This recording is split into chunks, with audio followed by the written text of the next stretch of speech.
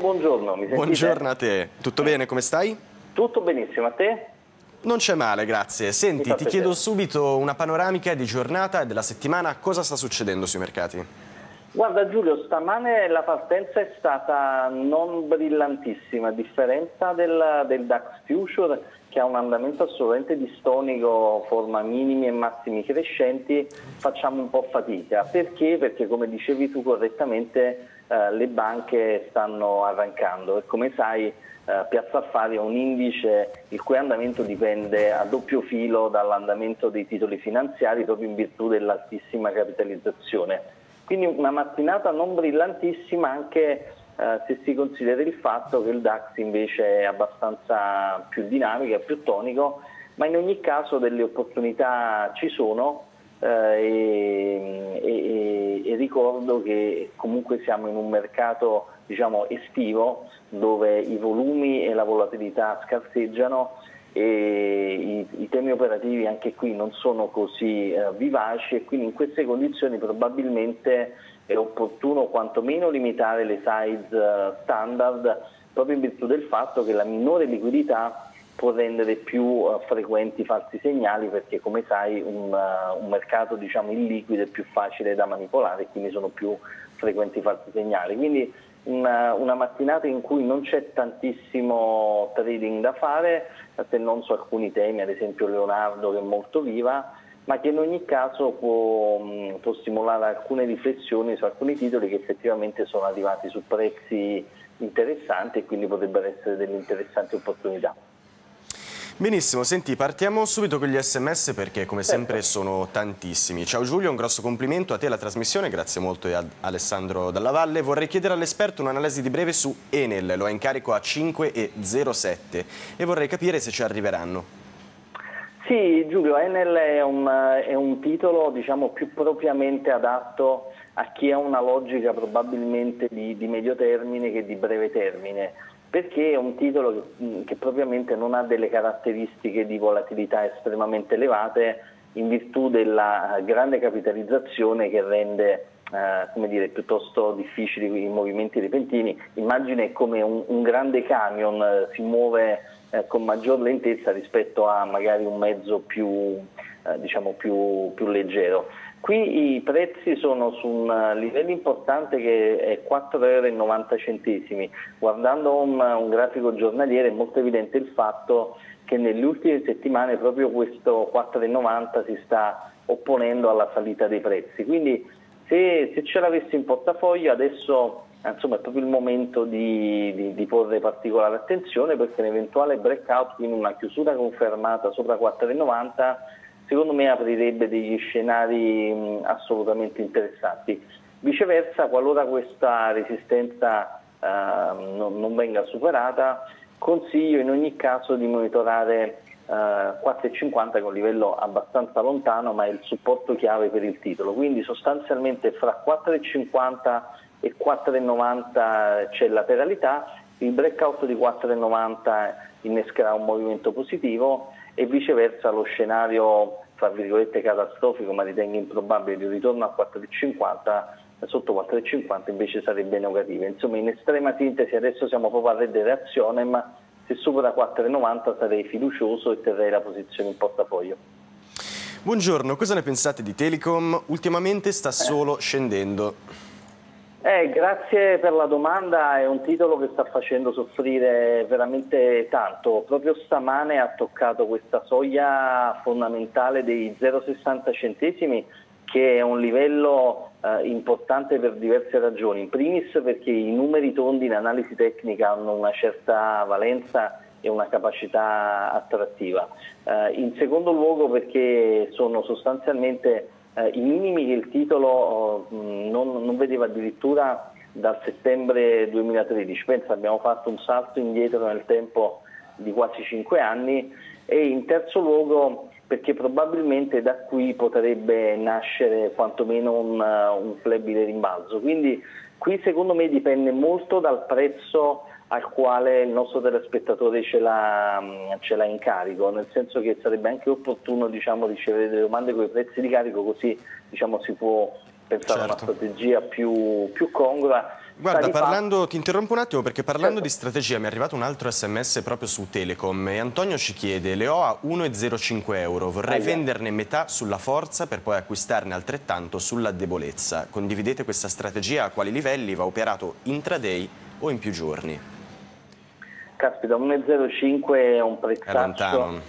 Sì, vuol dire che, che praticamente le ha prese direi a marzo del 2016 Adesso è odioso parlare col senno di poi e mi rendo conto che dire la, la frase io te l'avevo detto è pessima, io non, non, amo, non amo, utilizzarla, però per, per, il futuro probabilmente è opportuno tenere un po' più sotto controllo le posizioni perché sai, eh, con una perdita del, del, del, quasi 50% la posizione diventa difficile da gestire e anche piuttosto angosciante. Quindi prima premessa probabilmente non è il caso nel futuro di trovarsi in condizioni così estreme e difficili da, da gestire. Um, potrei concordare su un liquidare su, su un rimbalzo, ritengo che l'eventuale rimbalzo avrebbe come target 0,66 centesimi che sono i massimi toccati il, il 5 luglio, quindi siamo in trend ribassista, evidentemente inutile dirlo, e quindi probabilmente ogni rimbalzo potrebbe essere l'opportunità per, per liquidare, 0,66 potrebbe essere un livello target dove quantomeno una parte della posizione per stare un po' più sereni potrebbe essere liquidata, ma anche qui andrebbe fatto ragionamento più complessivo e la domanda dovrebbe essere quante, in, in che percentuale Telecom impatta sul portafoglio, se siamo nel 5% del complessivo tutto sommato si può tenere, qualora la soglia superi, cioè qualora Telecom abbia una predominanza sul portafoglio maggiore del 10%, la situazione si complica un attimo e probabilmente il rimbalzo potrebbe essere l'opportunità per alleggerire. Buongiorno, complimenti per la trasmissione, grazie a Simone da Belluno. A incarico con orizzonte temporale anche sei mesi, Brembo a 12,20 e Intesa San Paolo a 2,48. Che strategia? Sì, bella, belle entrambe le domande, perché? Perché se riesci a seguirmi con un grafico, Brembo è su un livello molto, molto interessante. Per fare un breve excursus, Brembo è una storia che ha dato grandissime soddisfazioni a, a tutti i risparmiatori a partire dal, direi, dal 2009 uh, eh, fino all'anno scorso. Il, il problema è che proprio a maggio dell'anno scorso il titolo ha raggiunto i 15 euro e da lì onestamente si è invertito il trend, cioè non ha, banalmente non ha più formato minimi e massimi crescenti ma ha formato massimi e minimi decrescenti e quindi c'è stata un'inversione del trend primario. La buona notizia è però a mio avviso che nelle ultime sedute, nelle ultime 10 sedute sta mostrando un'inversione della forza relativa. Che cosa vuol dire in estrema semplicità che eh, tende a far meglio dell'indice quando l'indice chiude col più e tende a far meno peggio dell'indice quando l'indice chiude con il meno e quindi questa è un'interessante indicazione. Detto ciò io farei una strategia estremamente banale, ovvero prenderei i minimi toccati il 23 ottobre del 2017 e tirerei una banale trend line che congiunge i massimi decrescenti. Vedrai che intorno a questa, all'area diciamo che, che, che, sta battendo intorno ai eh, 17,40 circa c'è questo passaggio di trend line. Se i prezzi superano questa trend line ribassista eh, potrebbe tornare il, la positività su Brembo, viceversa fin quando i prezzi galleggiano sotto questa trend line ribassista direi che non è, non è la fase diciamo, opportuna per, per, entrare a rialzo. Quindi banalmente prenderei questo come livello diciamo, interessante. Riguardo intesa è una storia eh, un po' più complicata, perché? Perché secondo me c'è una sorta di mh, difformità fra i valori fondamentali e i valori tecnici. Io ritengo che intesa su, al, a livello di fondamentali sia assolutamente ben impostata. Il problema è che i prezzi non, non stanno riconoscendo questa, questa diciamo, buona qualità dei numeri e quindi del, dei bilanci. Perché dico questo? Perché i prezzi sono sostanzialmente ingabbiati in questa brutta fase laterale eh, che è sviluppata fra area 2,40 e 2,62 ormai da, da, da molte settimane, dal, dal, 29 maggio nello specifico. Quindi qui utilizzerei questa strategia, comprerei sulla ba parte bassa di questo rettangolo, quindi 2,40 secondo me è una buona area di acquisto e viceversa alleggererei la posizione in area 2,70, cioè sfrutterei questo bordo, questo rettangolo per costruire delle operazioni di breve respiro che comunque possano in qualche modo dare una certa soddisfazione. Quindi livelli chiave 2,40 supporto, 2,60 resistenza e come detto possono essere sfruttate per rapide operazioni di trading. Mediaset e Ferragamo prese a 2,55 e 19,51 rispettivamente. Che target di breve? Sì, Giulio, partirei da Ferragamo che Prego. anche qui sì, è una storia un po' delicata. Eh, come sai c'è stata un'operazione straordinaria nella quale eh, gli azionisti hanno liquidato a un prezzo non altissimo le parte delle loro azioni. Eh, l'operazione è stata eseguita il 20 giugno e da lì il mercato ha reagito in primis con un meno 8,44 eh, e in seconda ha battuto con una lunga discesa che di fatto ha invertito il trend, um, il trend rialzista che il titolo aveva in qualche modo provato a costruire negli ultimi mesi. Quindi qui il quadro grafico ahimè è degenerato, però abbiamo un, uh, un, punto di supporto interessante che è rappresentato da 19,30. Quindi io qui al telespettatore consiglio in primis di tenere ben fisso il livello 19,30. Se ahimè dovessi chiudere una settimana sotto 19,30 io onestamente chiuderei tutte le posizioni long perché temo lo sviluppo di una nuova gamba ribassista. Se viceversa 19,30 tiene e, e, mi sembra uno scenario probabile, eh, ritengo che, che, possa, che, possiamo assistere a un rimbalzo che potrà avere come primo target 21,50, secondo target 23 e questi potrebbero essere i livelli intermedi sui quali mh, potrebbe essere diciamo, interessante liquidare parte della posizione, però occhio perché 19,30 è veramente un supporto interessante. Per quanto riguarda invece Mediaset è una storia calda, eh, proprio ieri in virtù di tutto quello che sta succedendo sul mondo delle torri televisive il titolo si è, si è scaldato, ha, ha registrato una bella, una bella, accelerazione che ha superato il livello di 2,80 euro. Qui io farei un, um, un distingo, secondo me bisogna capire se uno lo vuole tenere in ottica di breve o piuttosto in un'ottica di medio-lungo periodo medio-lungo periodo bisogna fare delle considerazioni generali anche sul, um, sull'evoluzione delle, delle, vicende politiche, perché è evidente che le frequenze sono un'area di attività eh, nella quale la politica può e deve intervenire.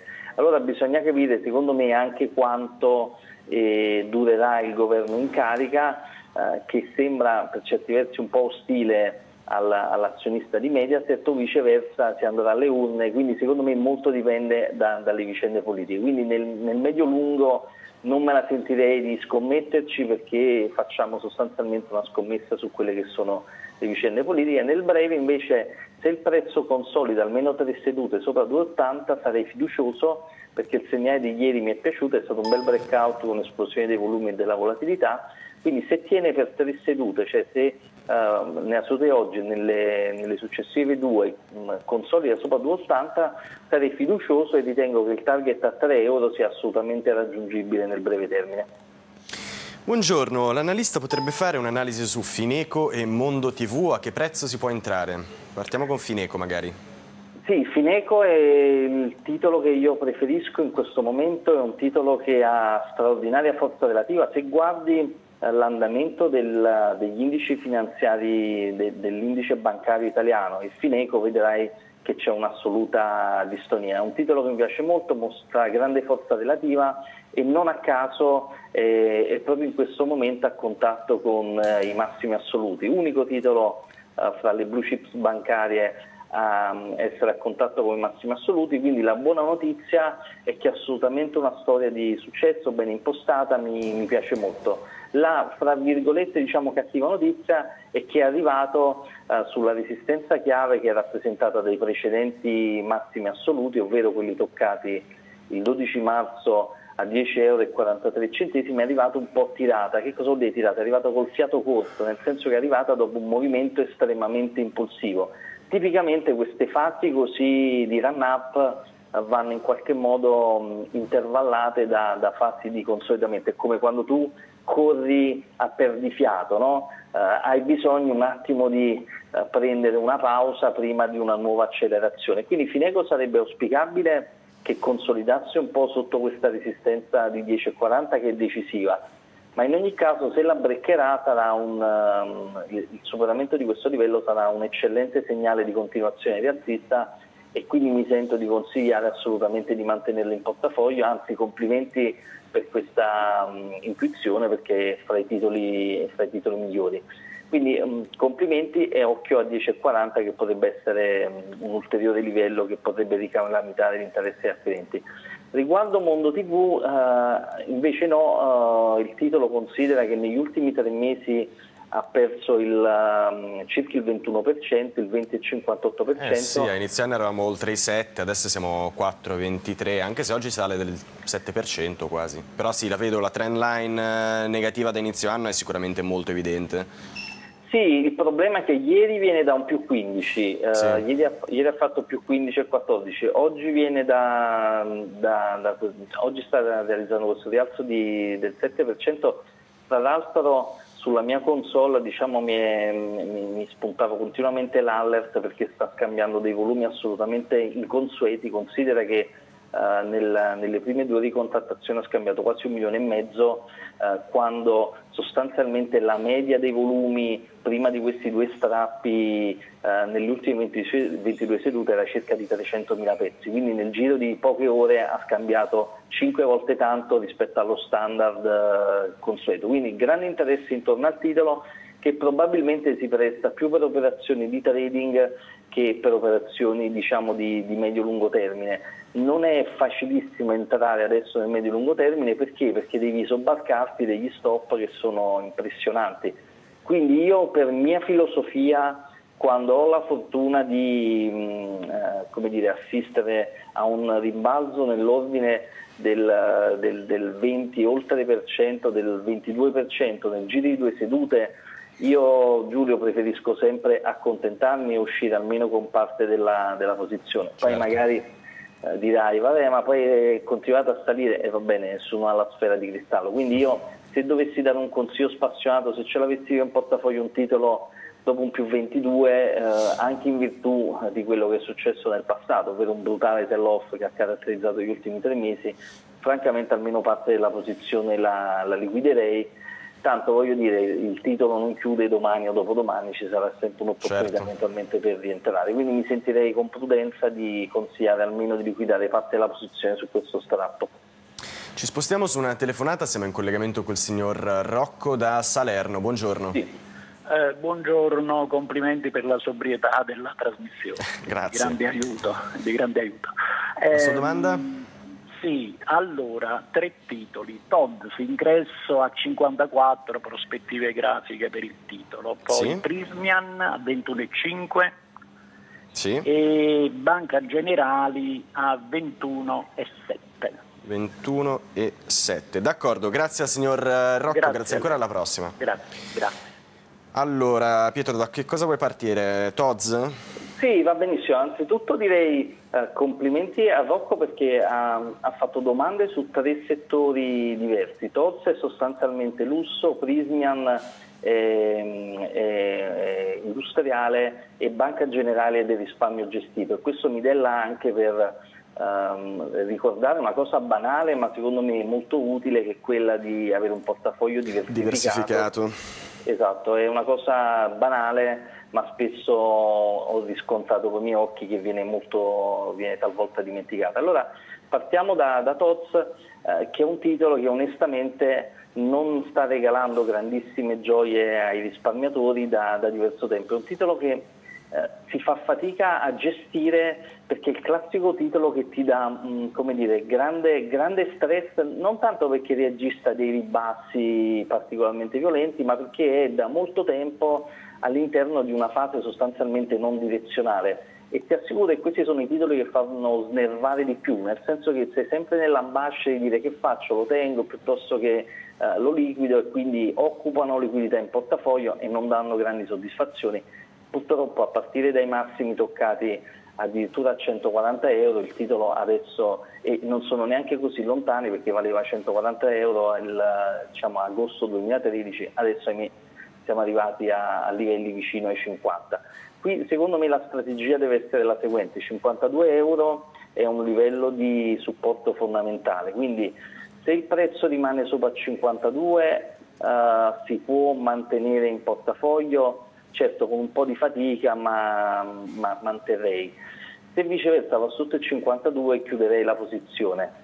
Al contrario un'accelerazione verso l'area 58 potrebbe essere un, un, primo livello di target su cui liquiderei un terzo della posizione e quindi questa potrebbe essere la strategia più sensata, quindi 52 supporto decisivo e 58 resistenza interessante sulla quale probabilmente liquiderei una parte della posizione. Se voi passiamo a Prismi, anche una storia che necessiterebbe di un approfondimento importante perché? Perché il titolo è sotto aumento di capitale. Uh, come sai certo. i, i, titoli diciamo, sotto aumento di capitale uh, presentano spesso degli andamenti del tutto peculiari, nel senso che uh, proprio questa operazione straordinaria chiamerà a un certo punto il, gli investitori a decidere se aderire o meno al, all'aumento. Onestamente è un, è un, aumento non stile bancario super diluitivo, è un aumento che eh, probabilmente potrebbe aver senso sottoscrivere perché però anche qui non si sbilancia il portafoglio oltremodo su, questa, su quest'asset. Uh, quindi dipende un po', il, il, titolo tutto sommato mi piace e l'aumento, um, sottoscrivere l'aumento ci potrebbe stare, però secondo me dipende molto dalla situazione personale del proprio portafoglio, nel senso che se uh, l'incremento della esposizione dovuto alla, al fatto che sia del riscaldamento di capitale non sbilancia oltremodo il portafoglio e quindi non sovrappesa Prismia ci può stare, se viceversa lo sovrappesa ci farei una riflessione. Quindi tutto sommato eh, è un titolo che terrei in portafoglio, però considerando che proprio questa condizione dell'aumento di capitale che ne può condizionare i prezzi e poi se vuoi aderire naturalmente devi eh, essere pronto a investire ulteriori risorse. Per quanto riguarda invece infine Banca Generali, sì. è, è, secondo me un, un, titolo che sta risentendo al pari di Mediolanum e di titoli del risparmio gestito come Azimut di una situazione abbastanza peculiare del settore, come sai MIFID 2 in qualche modo ha, ha, delle, ha, e sta avendo delle ripercussioni che sono secondo me non facilmente prevedibili, cioè sostanzialmente un risparmiatore oggi eh, trova dei, dei, prospetti più trasparenti o almeno dovrebbe trovare dei prospetti più trasparenti e bisogna capire se questi prospetti più trasparenti indurranno eh, le persone che si servono del risparmio gestito a fare una riflessione su quella che è la reale efficienza e quindi sulla capacità che ha un gestore di eh, dare quell'alfa di portafoglio, ovvero quel, quell'incremento alla performance del benchmark che uno si aspetta dal, dall'investitore. Quindi settore delicato che sta soffrendo e nello specifico è molto interessante graficamente perché il titolo sta, sta, disegnando quello che in gergo si chiama cap and handle, cioè sostanzialmente un, un, pattern formato da una sorta di tazza con il manico, nello specifico addirittura è come una tazza, sembra una tazza con due manici. Qui operativamente la, la strategia è molto semplice, il, il livello chiave da monitorare è 22,55 euro Uh, fin quando il prezzo rimane sotto 22,55 non, non, avrei particolari indicazioni, ma viceversa se questo pattern viene completato e quindi assisteremo a un breakout di 22,55 intererei assolutamente al rialzo, il breakout naturalmente è una rottura con volumi e volatilità e il primo target sarebbe la chiusura del gap lasciato aperto il 18 maggio che è in area 24,74, quindi un trade assolutamente interessante anche in termini di rischio rendimento perché il primo target è posizionato abbastanza avanti e quindi apre un'opportunità assolutamente interessante, però qui bisogna avere la pazienza di aspettare il breakout di 22,55 e non anticiperei assolutamente il segnale. Pietro andiamo velocemente in pausa sì. ma torniamo subito, restate con noi.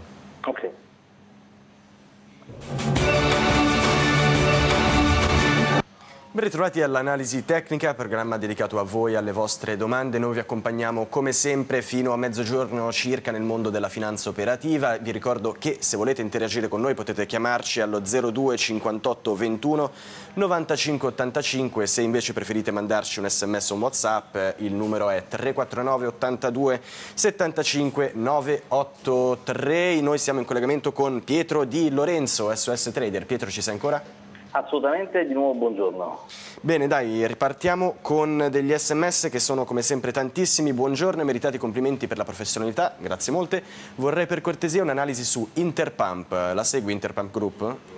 Sì, la seguo, non è un titolo diciamo, che, che, che è proprio nel mio radar, però adesso lo vado a recuperare al volo. Eh, allora Giulio, una, una premessa diciamo, generale. Uh, su questi titoli qui, uh, dove tipicamente non ci sono dei volumi straordinari, considera che stamane ad esempio è anche una giornata abbastanza viva, ha scambiato 40.000 pezzi uh, e quindi diciamo, le size da utilizzare devono essere secondo me congrue rispetto alla volatilità, che, che, eh, rispetto diciamo, ai volumi e alla volatilità. Che cosa intendo dire? Che probabilmente è opportuno non esagerare con le quantità, Uh, perché il rischio di eh, dire, rimanere invischiato e fa facendo fatica a trovare qualcuno che vuole eventualmente acquistare le, le posizioni che vogliamo vendere è presente su questi titoli uh, sottili. Il, diciamo, in linea di principio è un titolo secondo me per investitori pazienti, cioè per chi ha Uh, voglia di um, aspettare che, il, che, i prezzi in qualche modo prendano una direzione. Uh, chi l'ha acquistato nel, ne, negli anni precedenti adesso sicuramente sta, sta, gioendo perché è un titolo che ha mostrato un andamento uh, negli ultimi anni assolutamente interessante.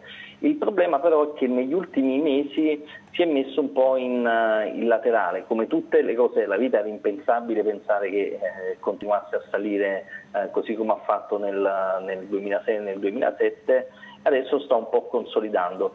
Qui io utilizzerei questa strategia, 25 euro è secondo me il livello chiave da, da monitorare. Se eh, il titolo tiene 25 euro sarei assolutamente fiducioso e lo manterrei con una logica, come detto, paziente, quindi non per liquidarlo dopo giorni o settimane, ma per tenerlo in portafoglio mesi. Se viceversa chiude sotto 25, eh, probabilmente mi accontenterei, anche qui sarebbe opportuno conoscere il prezzo di carico, ma in linea di principio se l'ha comprato eh, nel, diciamo, nel, non proprio negli ultimi, negli ultimi settimane o mesi dovrebbe essere in buon guadagno. Quindi 25 euro secondo me è il trigger decisivo da monitorare, se galleggia sopra 25 starei sereno, viceversa farei una revisione e chiudere le posizioni. Ci spostiamo su un'altra telefonata, siamo in collegamento col signor Gino da Bologna, buongiorno. Ferrari Signor Gino? Fiat, sì, mi sente? Prego, sì, la sua domanda? Eh, mi interessava in un'ottica di breve e medio periodo Ferrari e Fiat. Ferrari grazie, e Fiat. Grazie, grazie al signor Gino, alla prossima, grazie ancora. Partiamo con Ferrari? Eh, Ferrari è una, è una, bella storia italiana, è una storia che eh, oltre a dar lustro al nostro paese eh, ha fatto felice tanti azionisti. Il titolo sostanzialmente ha, ha, dato delle gioie straordinarie a coloro i quali hanno deciso diciamo, di, eh, magari non potendosi mettere in, in garage la, la Ferrari diciamo, vera e propria, di comunque partecipare nel capitale di, di rischio. Ricordo che il titolo è quotato a Piazza Affari a partire dal primo giorno del 2016, il prezzo di collocamento fu intorno ai 45, dopo una fase interlocutoria il mercato sostanzialmente lo prezzava come un titolo auto, quindi dava, diciamo, lo, lo, prezzava come se fosse un, titolo auto, però tutti noi sappiamo che probabilmente Ferrari non è proprio eh, un titolo che può essere prezzato a questi livelli perché è più un bene di lusso, più eh, va quotato come un titolo del settore russo come un settore auto. Il mercato poi dopo un po' l'ha capito è partito questo rally straordinario eh, che ha portato il titolo nel, nel giro di poco dai minimi toccati intorno a 30 fino ai massimi toccati recentemente a 130, quindi pensa a un rialzo di 100 euro sul titolo ne valeva 30, dice tutto su quanto sia stato apprezzato. e secondo me è un titolo che va tenuto in portafoglio perché il trend rialzista è consolidato, quindi qui la strategia semplicemente di market time, cioè che, che lo dobbiamo tenere in portafoglio è abbastanza pacifico, la cosa interessante da fare è tenerlo a dei prezzi più bassi possibili, perché tutti noi facciamo un po' fatica a comprarlo probabilmente adesso a 122 quando siamo così vicini ai, ai massimi. Quindi qui bisogna utilizzare le tecniche di market timing per, per entrare a un, punto di, a un punto di ingresso a basso rischio. Probabilmente l'area più comoda potrebbe essere 115 e quindi mi sentirei, per chi non ce l'ha in portafoglio, probabilmente di, di aspettare 115 sempre che ci arrivi Viceversa la formazione di nuovi massimi assoluti, ricordo che il massimo assoluto è stato toccato il 15 giugno a 129,50, tipicamente potrebbe calamitare nuovi acquisti. Quindi per chi ce l'ha in portafoglio me lo terrei stretto, per chi non ce l'ha aspetterei 115 e il breakout, la formazione di nuovi massimi assoluti col superamento di area 130 potrebbe dare nuova ninfa agli acquirenti e quindi innescare una nuova accelerazione. In ogni caso insomma un orgoglio italiano e, e complimenti a chi ci ha puntato dall'inizio perché sta facendo cose straordinarie.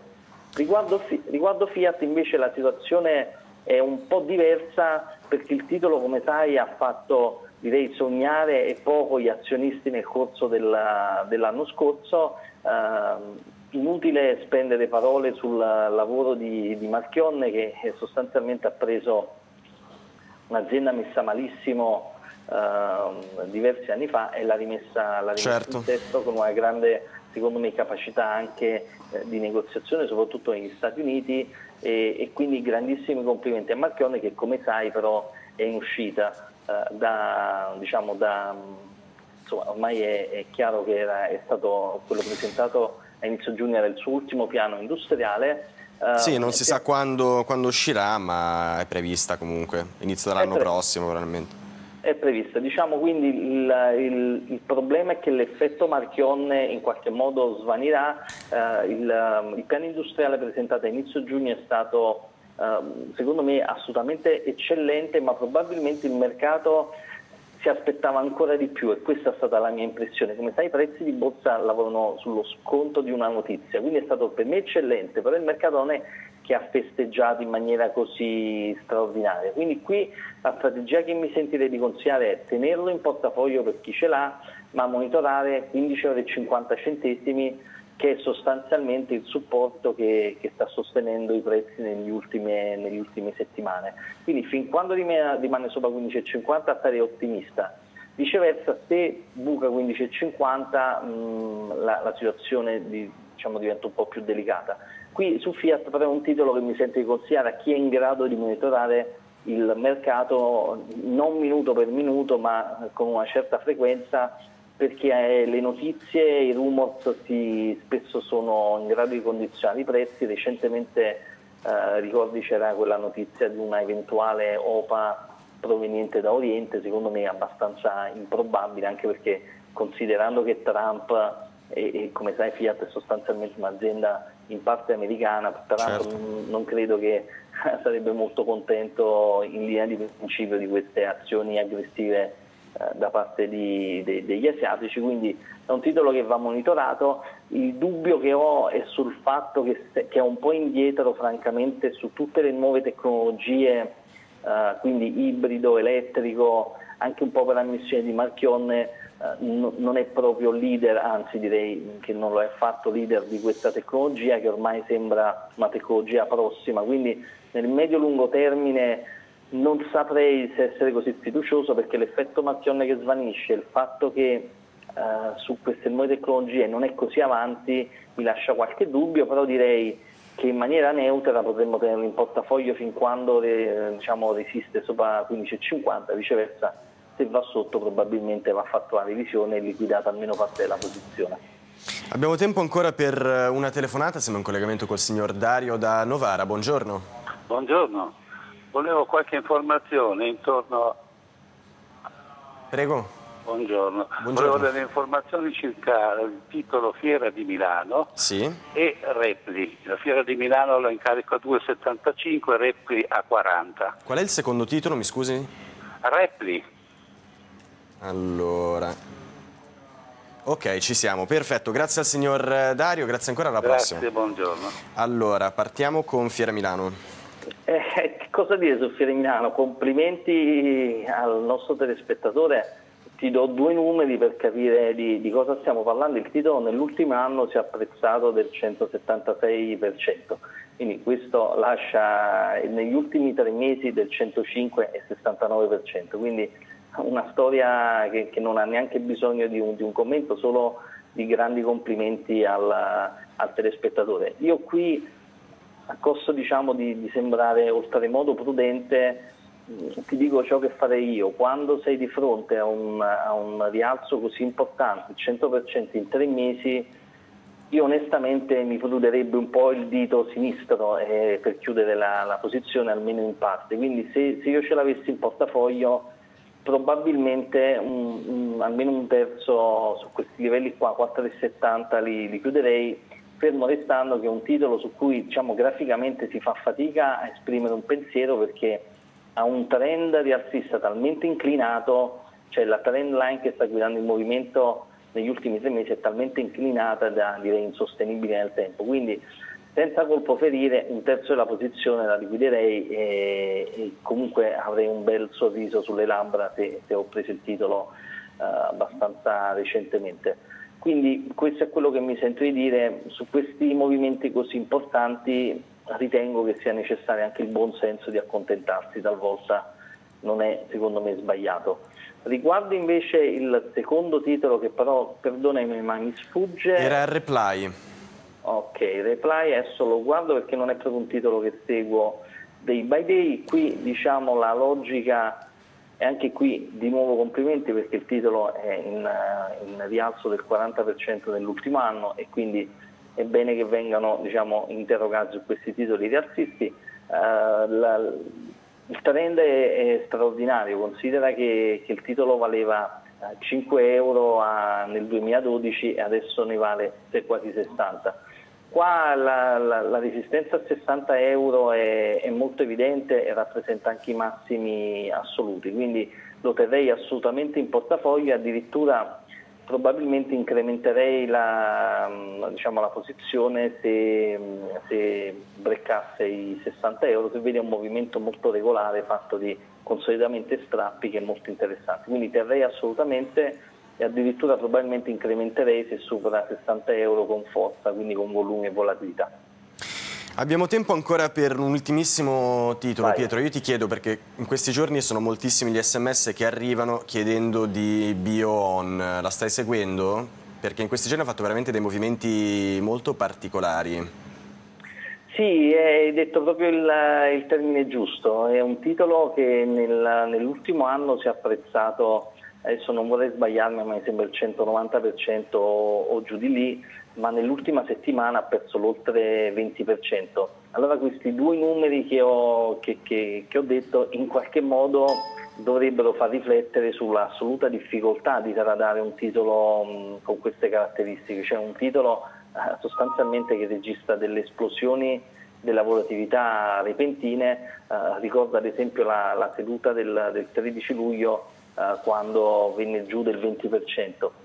Allora qui francamente è un titolo che consiglierei più per il trading che per l'investimento, cioè queste fasi molto ariose, questi movimenti di prezzi molto esplosivi, secondo me sono più opportuni a un professionista che è in grado di sfruttare nell'intraday questa estrema volatilità. Certo entrare adesso mi sembra un po' un coin flip, una scommessa e non ho mai visto nessuno arricchirsi a lungo termine in borsa facendo scommesse, quindi mi sentirei di consigliarlo solo ai professionisti o quantomeno attendere una fase di compressione della volatilità per trovare dei punti di ingresso sensati. Entrare adesso ti può regalare una gioia importante o una, una perdita importante, quindi è meglio secondo me utilizzarlo per trading stretto con stop loss rigidi in modo che se ti trovi nel secondo caso, se è la parte sbagliata, non perdi tanto ma la chiudi molto rapidamente senza fare danni. Salvo, incarico Banca Ifis a 32,80. Vorrei avere un'analisi e quando potrà ritornare su quei livelli. Grazie da Riccardo. Ma Banca Ifis è una storia diciamo, che, che insomma, fa, fa, un po' a sé rispetto alla, ai titoli diciamo, bancari tradizionali perché mostra un, una leggera forza, eh, come dire, un tentativo di tenuta, però negli ultimi tre mesi ha perso il 20%, quindi diciamo, lo scenario non è, nonostante diciamo, sia una banca, secondo me tutto sommato nei fondamentali che, c'è, eh, è stata un po' coinvolta nella, diciamo, in questo sell-off che ha caratterizzato un po' tutto l'andamento dei, dei, titoli bancari, fermo restando diciamo, che l'apprezzo nei, nei, fondamentali. Qui diciamo, i livelli grafici secondo me decisivi da, da monitorare sono la resistenza a 29,15 euro superata la quale mi attendo una bella accelerazione. Quindi se, se, si, se si, vuole vedere diciamo, di nuovo un bel denaro vivo che può tirare sui prezzi rapidamente, 29,15 è il livello chiave. Viceversa, se mh, il titolo dovesse tornare malauguratamente sotto i 21 euro, che, che, è un livello lontano e quindi uno scenario che ritengo poco probabile, vorrà dire che questo movimento di bassista partito dai massimi di ottobre non è, non è, finito questo ribasso e quindi potremmo assistere a un nuovo, una nuova gamma di bassista e quindi eh, sarei costretto a chiudere le posizioni se, se, torna sotto 21 che però non mi sembra uno scenario cioè, diciamo così probabile. Quindi concentriamoci sulla positività, 20, aria mh, 29 euro potrebbe essere, quindi 28,90, 29 potrebbe essere un bel livello di resistenza superato il quale ci potrebbe essere una bella e decisa accelerazione. Per il momento è un po' in mezzo al guado e attenderei questo breakout per prendere posizioni in maniera più decisa. Pietro Di Lorenzo, SOS Trader, siamo in chiusura, io ti ringrazio per essere stato con noi quest'oggi, buona giornata e buon Grazie lavoro. Buon lavoro. Grazie anche a tutti i telespettatori, noi andiamo in pausa ma torniamo subito.